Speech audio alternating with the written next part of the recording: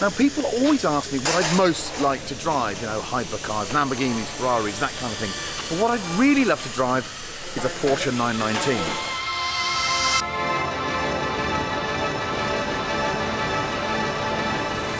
The hybrid Le Mans winning Porsche endurance racer with about 900 horsepower that weighs under a ton and has a load of downforce. That has to be the ultimate driving experience, and I'm about to drive it.